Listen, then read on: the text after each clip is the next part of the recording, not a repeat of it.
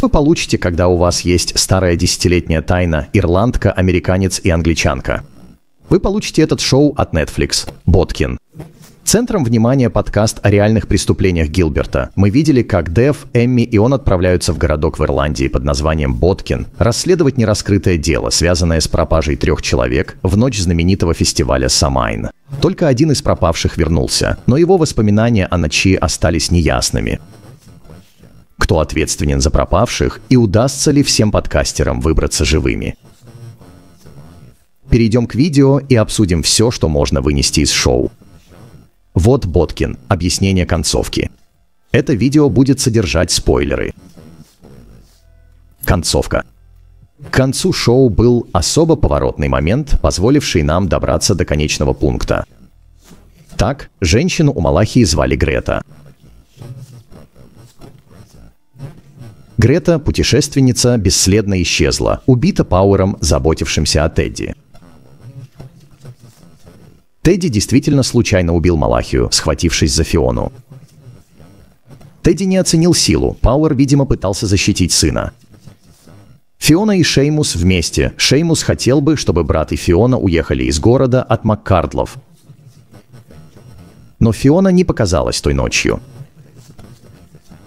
С Малахией, убитым Тедди и отсутствием Фионы и Пауэром Убившим Грету, все, что мог сделать Пауэр, это бросить машину с телами на заднем сиденье. Ответ на десятилетнюю загадку пропавших из Боткина был найден. Грету не обнаружили, она много путешествовала, поэтому никто не думал, где она. Не буду врать, сержант Пауэр полицейский мог бы заранее подумать о том, где скрыть машину. Она далеко не затонула. Удивительно, что ее не нашли раньше, ведь это было не так сложно. Так как тело Фионы не найдено, возникла большая загадка. Где она? Оказалось, что она действительно умерла давно, но не так, как мы думали. Вместо бегства с Малахией она некоторое время пряталась в монастыре, пока не родила ребенка. Во время родов она умерла. Та самая, что родила Шона, была водителем, возившим Гилберта, Дав и Деми. Шеймус – отец Шона. Не знаю о сыне по желанию Фионы. Она мечтала о безопасной жизни. Шон, думавший, что мать румынка и они приемные, о происхождении родителей не знал. Шеймус закладывал взрывчатку под место Фестеля на финале. И он взорвал это. Шеймус хотел тишины, не показывать свою историю. Проблемы из прошлости оказались причиной.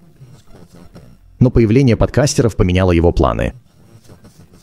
Все его тайны вышли наружу. При детонации Шеймусом, Дэв и Дэми подумали, что Гилберт был убит ведь его ранее засыпало землей с семтексом. Но мы видели, что ему удалось выжить. Голубь была на полу в слезах, рыла землю сзади него, показывая тем самым, что она к нему привязалась, начала о нем волноваться. Взрыв, похоже, был лишь отвлечением для Шеймуса и Макарделов, дав возможность сбежать. Мы не видели, что стало с ним, наверное, так же, как и раньше в его жизни. Возможно, он убежал и планировал начать новую жизнь. Или Макарделы его поймали, наконец-то осуществив свою месть. Последние моменты сериала закончились на том, что Гилберт отказался от истории для подкаста. Хотя она была готова и могла стать большим успехом. Он почувствовал, что поездка в Боткин изменила его неприятным для него образом. Он лгал, манипулировал и обманывал людей. Он по существу вел себя как голубь что он все время отрицал, что подтолкнуло его к поиску новой истории. Этот подкаст должен был быть спасение, так как его жизнь разломалась. Это было единственное, что придало ей структуру. Это дало ему надежду вернуться на путь, каким он хотел его видеть, но осознав, что даже при успехе подкаста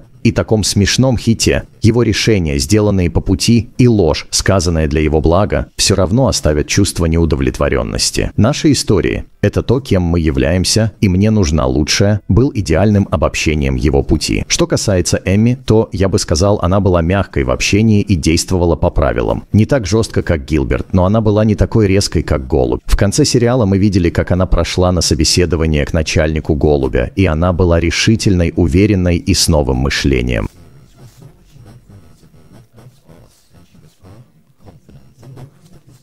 Личность и ее подход. показывает, что она точно училась у Дева, взяла с собой лучшее из его личности, что говорит о том, что и она, как и Гильберт, постигла урок. Дев взял на себя рассказ, который Гильберт делал на протяжении всего шоу, и это заставляет меня думать, что может выйти второй сезон, в котором будет главный Дев. Видно, что она осталась в Ирландии, и у нее было устройство для аудиозаписей, которого у нее, вероятно, не было ранее. Так она всегда недооценивала Гильберта за подкасты и не считала его расследователем-журналистом. Но кажется, что то, каким он был, повлияло на нее, и она, возможно, прониклась искусством рассказывания историй, чего не было раньше. Для нее это было просто расследование. Все эти персонажи росли, развивались и менялись к лучшему, что было приятно видеть. Даже свет может излучаться из чистой тьмы. Мой отзыв о шоу. У меня двоякое отношение к этому шоу, но я думал, что были элементы, которые были действительно хорошими, и казалось, что рост некоторых персонажей тоже был весомым, но были моменты, которые мне просто не нравились. Имею в виду, не всем мне нравилось. Что касается темпа шоу, я думал, что он был вполне неплохим, хотя я чувствовал, что одну серию можно было бы вырезать. Мы действительно не требовали 7 эпизодов. Мне также казалось, что история усложнялась без особой на то необходимости. Что касается персонажей, я думаю, что Гилберт был моим любимым. Его игра была превосходной. Ищу комедийную, остроумную и страстную сторону, которая время от времени проявлялась, делала его наиболее человечным персонажем, поскольку мы все чувствовали те эмоции, которые он хотел передать в эти моменты. В случае с Дэйв я действительно не мог найти с ней общего языка и поначалу сильно ее не любил. Мне кажется, что ее намеренно создали нравственно неоднозначным персонажем, грубым, эгоцентричным и думающим, что она лучше окружающих. Но она прошла путь и стала более заботливым и внимательным человеком. Думаю, ее трансформацию намеренно включили в сюжет, чтобы показать рост. Но даже учитывая это, когда трудно принять главного героя, сложно с ним сопереживать.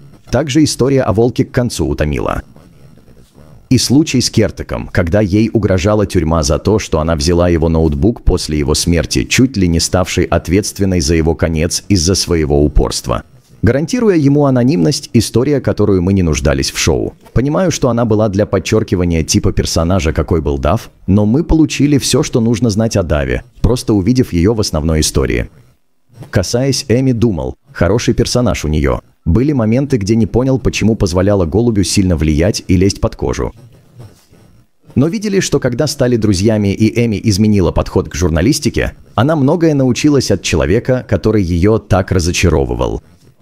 Любовная арка с Финсоном казалось, что была насильно впихнута, так как ничего не значила и не имела последствий.